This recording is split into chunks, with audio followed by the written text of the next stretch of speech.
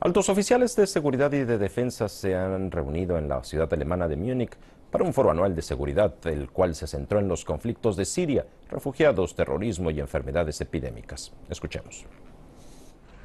El presidente de la Conferencia de Seguridad de Múnich, Wolfgang Ischinger, advirtió que el orden internacional está en su peor momento desde la Guerra Fría.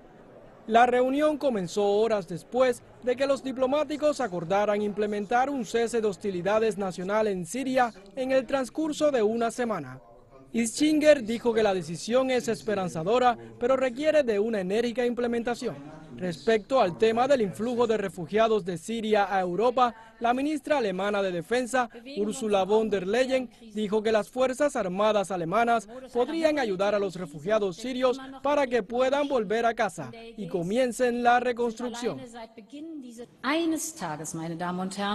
Un día, señores y señoras, veremos un cese al fuego y la llegada de la paz, y no perderé la esperanza de que esto suceda. Y luego veremos a los refugiados regresando a casa porque se les necesitará ahí para la difícil tarea de reconstrucción.